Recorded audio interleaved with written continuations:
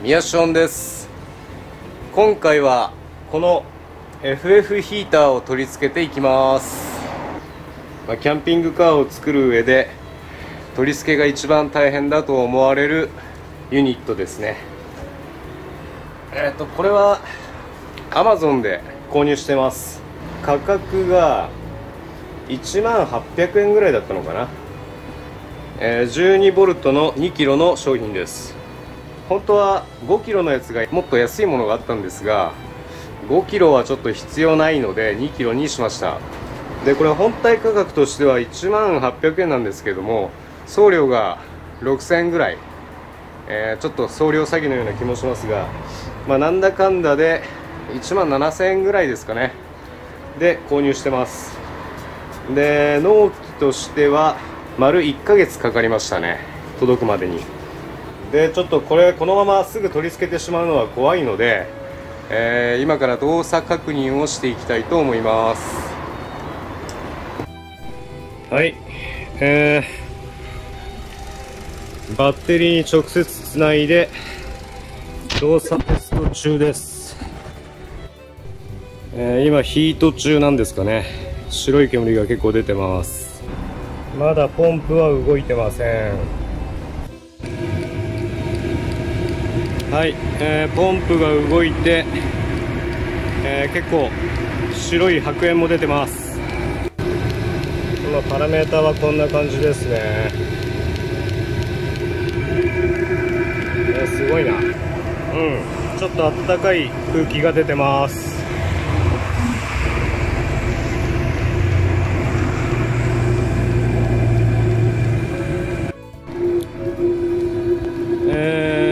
3分ぐらい経って白煙の量も落ち着いてきた感じですかね。結構排気管の音がうるさいんですね。だからマフラーがついてるんでしょうね。今は何もつけてないので結構響いてる感じですね。あとこのポンプもやっぱりうるさいですね。コンコンコンコン言って。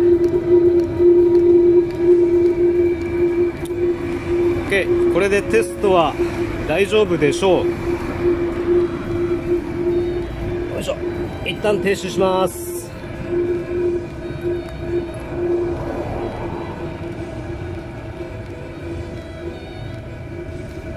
はい、えー、FF ヒーターはこの助手席の下に取り付けるので、えー、今から助手席を外していきます。はい、えー、これはですね助手席の後ろ側のボルトなんですけど、ここですね。ここが止まっています。で、ここまたトルクスなんですよね。日産の車がそうなのか、最近の車は全部トルクスになってるのかわからないんですが、えー、これ持っていなかったので、購入してきました。こういうトルクスレンチのセットですね。これを使って外していきます。じゃあ外していきます。おそらくトルクスの45番ってやつですね。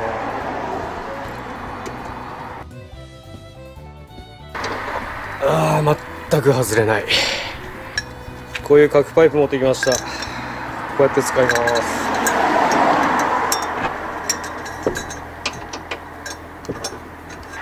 こんなボルトです。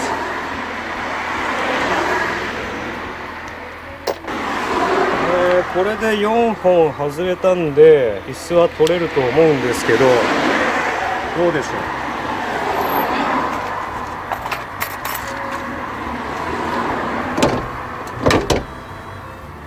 う？いいですね。外れますね。外れました。はい、えー、椅子を外した状態がこのようになりました。こういう鉄板があるとはちょっと思ってなかったのでこれは邪魔ですね。まあまあこれも外していきますか。えー、この後ろ側のここと、えー、この隙間から見える前側のここですかね。この4箇所で止まってるという感じですかね。そしてここになんかあるんですよね。これエアコンの吹き出し口なのかな。なんか邪魔な物体がいます。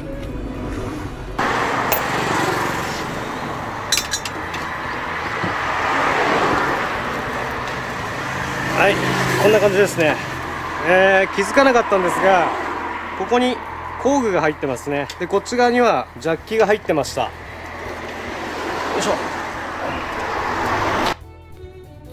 はい、えー、こんな感じですね。今ちょっとカーペットめくってみたんですけどまあこの鉄板とかこいつとかあとこの配線ですね。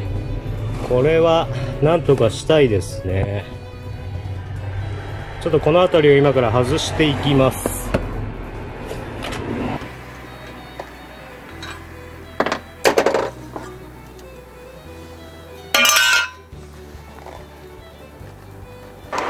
多分エアコンの吹き出し口だと思うんですよね。こいつはちょっといらないんで外したいんですがだいぶ前の方まで行っちゃってるのでここでぶった切ります。もうグラインダーで切っちゃいます。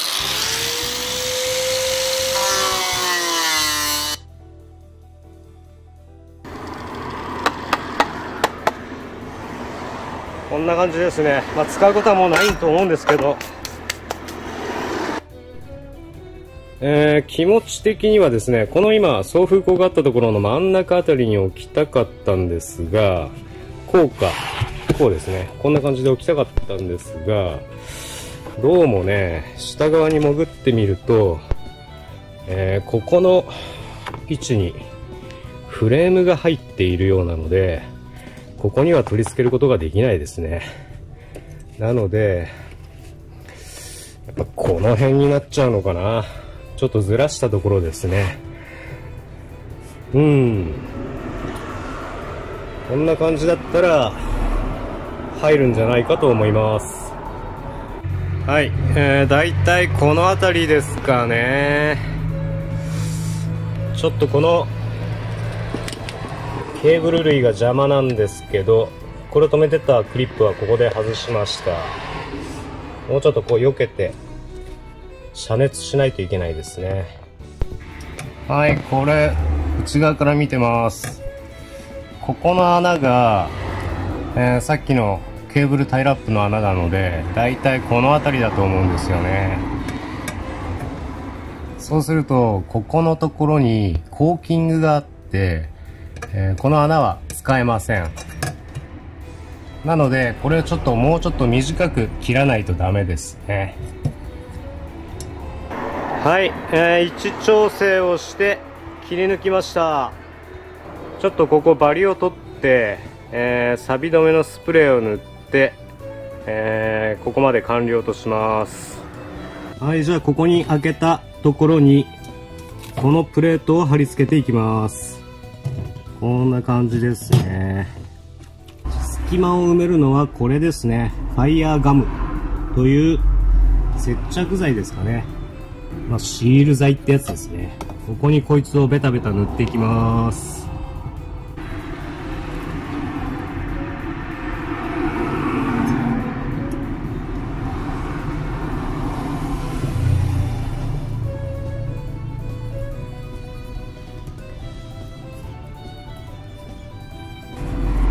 とりあえずこれでいいんじゃないでしょうかね、えー、これで乾燥を待つんですがその前に固定してしまいます。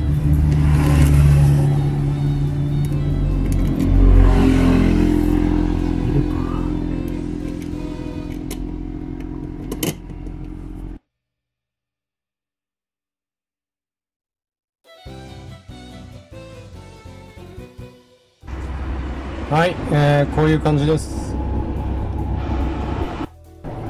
はい、えー、こんな感じで出来上がりました。